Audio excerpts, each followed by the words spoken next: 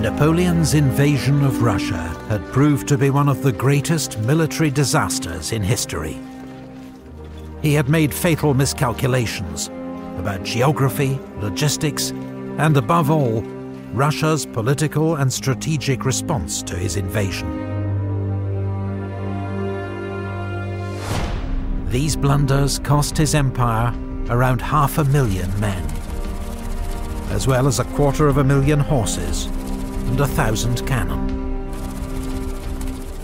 Put another way, of every 12 men who marched into Russia with the Grande Armée, one was killed in action or died of wounds.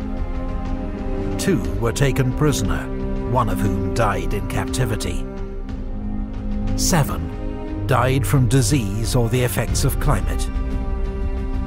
Just two returned alive.